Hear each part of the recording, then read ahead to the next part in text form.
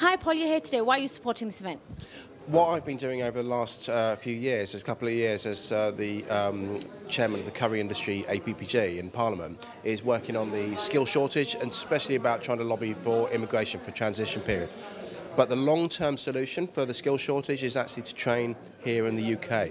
And so this is a, such a fantastic initiative by Enam, Enam to um, build the academy here and build it and they will come, hopefully. This is lovely plush surroundings.